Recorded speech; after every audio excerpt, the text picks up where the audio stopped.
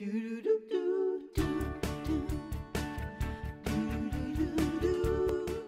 just in time to freshen up your home decor for summer, Hallmark artist Lindsay Below is here with a DIY felt succulent wreath, and you are a visual a merchandising designer. What exactly is that? So uh, my role in my department is responsible for taking all of the great Hallmark creative product that they come up with and finding an awesome and creative way to display it in Hallmark retail environments all across the country. Creating little Hallmark heavens everywhere. right. And Oh, by I the way, like that, Hallmark I know we're going to try to get like through this segment without crying, but but but the inspiration for this felt succulent wreath actually came from your own wedding. It did. So um, succulents were a big part of the uh, design concept for our wedding, and we tried to work them in as wherever we could.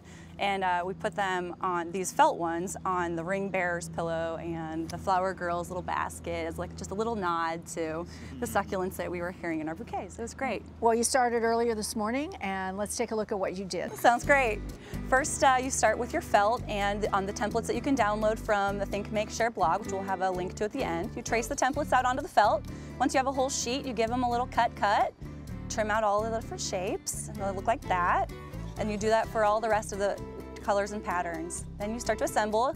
You glue um, a little, the little pieces, and you kind of go from smallest to largest. Then you roll the center piece, pick up the second small one, do a little glue dab in the middle, fold it and kind of pinch it between your fingers.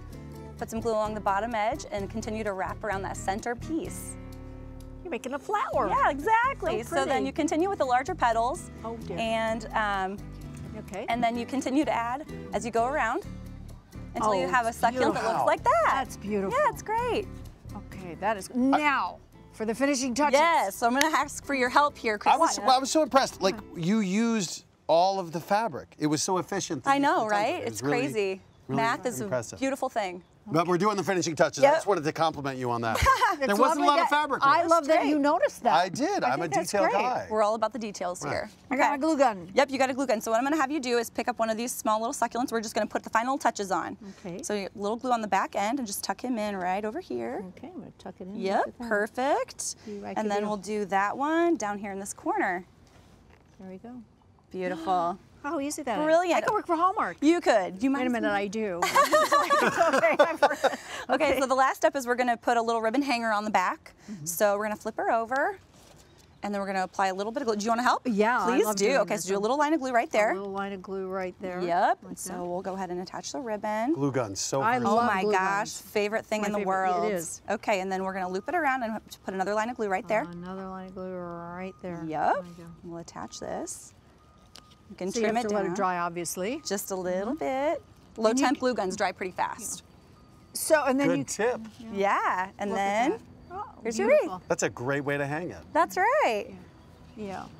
We have. Uh, we want to know how to wrap the, the wreath. Uh, We have a, a tape of that as well. So Oh, we take yeah. A look? Show us. So um, you'll attach the um, yarn to the wreath, and you'll see that I'm using multiple strands of yarn. Goes Uh, quicker. It goes a Expedite. lot Yeah, faster, yeah. Um, and you'll learn how to do that on the blog Go too. all the way around. Yep, and then you finish it up, and then you place the succulents on the wreath.